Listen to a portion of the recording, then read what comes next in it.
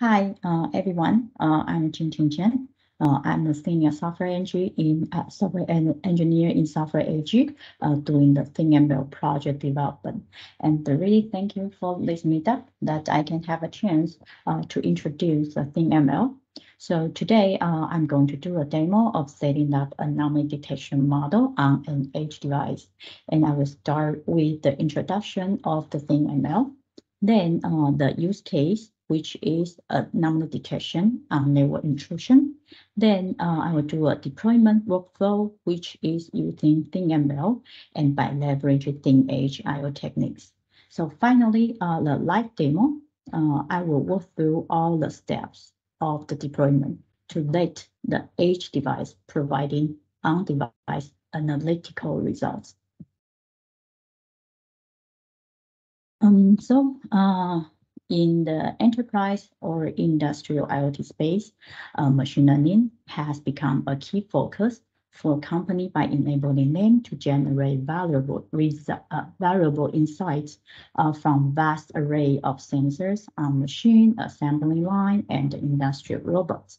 So one of the biggest challenges in large-scale industrial machine deployment today uh, is to keep track of the functioning of the machines.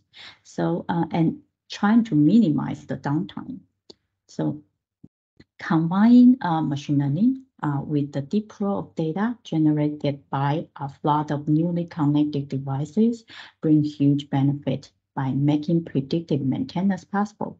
So AI-powered IoT devices can proactively detect different type of event through its local sensor data and trying to take action without human intervention.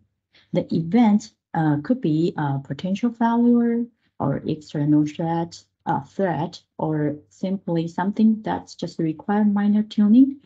By reacting this kind of events in an automatic real-time and intelligent way, the downtime of device can be minimized and which eventually helps on maintenance cost saving.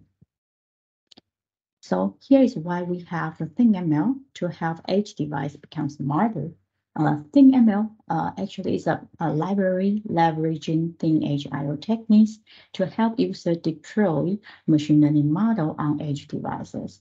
Then uh, with the machine learning model being deployed, uh, ThinkML immediately enable edge device the capability of generating analytical results.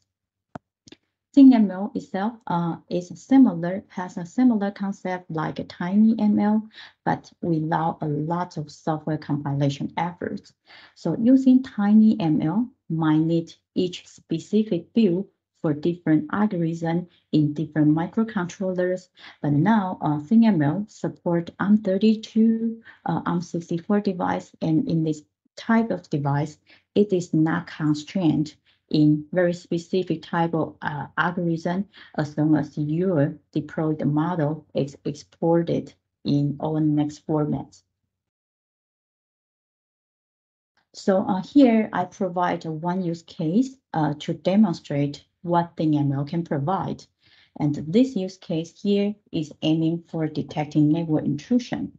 So we use the botnet uh, uh, dataset. It has 115 features, including many different attributes from attack source and um, network packets. The dataset has labeled 10 type of attack and one benign. And a bot in this dataset means uh, a compromised device being penetrated from a malware.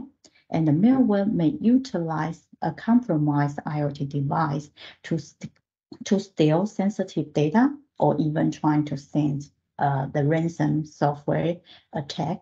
And this create security crisis in the IoT space. So as mentioned in previous slide, uh, detecting possible attack before it becomes a real problem will help to prevent uh, catastrophic consequence and help a business to avoid unexpected loss. So we use this data set. Uh, it could be trained as an anomaly detection model.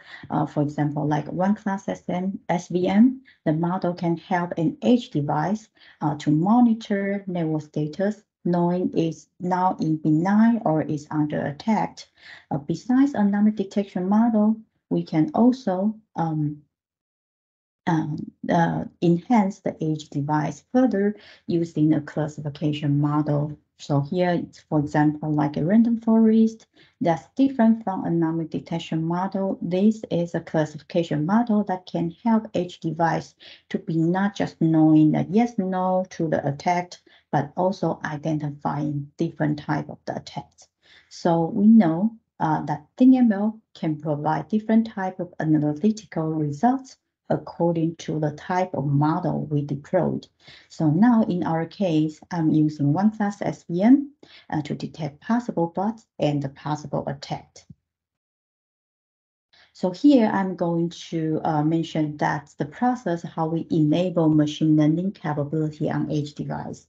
So the first of that immediately we need will be a model. Then we uh, a machine learning model could be trained and validated by various model training tools such as scikit-learn, PyTorch, TensorFlow, R-Package, Keras, or uh, uh, the machine learning workbench, which is also one of the microservice provided from Cumulocity. And once model is trained and exported in an ONNX file, then we wrap the file as the machine learning artifact tarball package then we're trying to upload the tarball to the Cumulocity software repository. Then next step, uh, use the Cumulocity, uh, Cumulocity management console to push the machine learning model to all the connected edge devices. So uh, now edge devices have their own machine learning computation capability. Then finally, each device can start to generate its own analytical result by feeding its own raw sensor data to the just deployed model. So that Cumulocity Management Console can see the anomaly score and the prediction from the model. Then in this demo, uh, I was trying to execute a simulator on edge device to simulate the situation that uh, edge device generate its sensor data, then proceed on device computation, then send back the analytical results via MQTT channel back to uh, cloud. So uh, here I will do a demo. Now, uh, what I have right now is the uh, uh, one class SVM uh, model that is exported in ONNX format and that is trained from a data set. Then we what we did is trying to uh, zip it into a machine learning artifact tarball.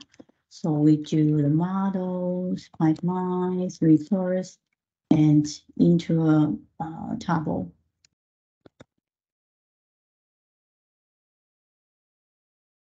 So now we have that file already. Then we do, we go to the Cumulocity uh, control panel. We go to a software repository. Then we uh, have a so the machine learning model that we just uh, generate. Artifact. Then we put the description, detection, model. Then we know it's the thin-edge device. Then uh, just uh, uh, different from the APT software install, we use uh, right now. Then we know this is a non-meditation model version one. Then the most important thing, we need to have the tail version here and mentioning as the ThinkML.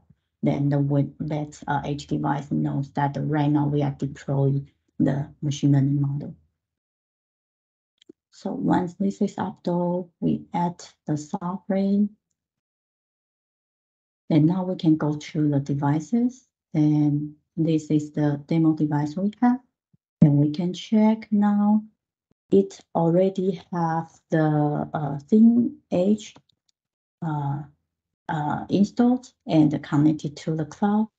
And we also have the ThinkML base um, already installed that have uh, let device have ability capability to deploy the model. And right now, what we're gonna do is to deploy the model. So we select the one, we just uh, upload it, then we apply the change.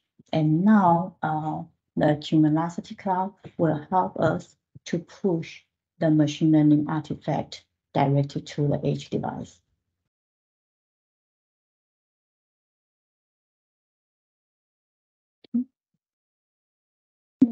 Just trying to refresh. Okay, yeah, actually it's already late. Then you can see uh, you will have some of the uh, information from here. But now uh, we would like to go to the cockpit that I already create a graph that can help us to see the uh, sensor data easily. So right now we don't have any sensor data because I haven't started the simulator. Then right now I'm going to start a simulator. We will start to do the on-device uh, computation. Okay.